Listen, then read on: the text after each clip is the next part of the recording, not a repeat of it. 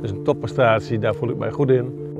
En uh, als hier dan 4350 mensen zitten die als het ware het team aanboden, dan denk ik van ja Jannes, daar doe je het voor.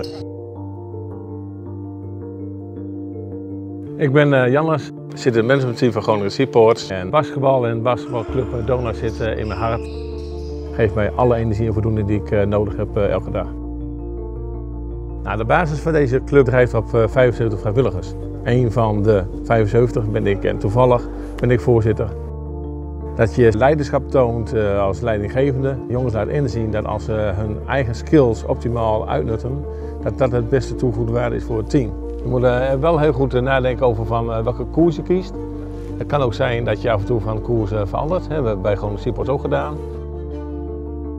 Wat enorm belangrijk is, is dat je als bedrijf anticipeert en flexibel bent op de veranderde omgeving waarin je acteert.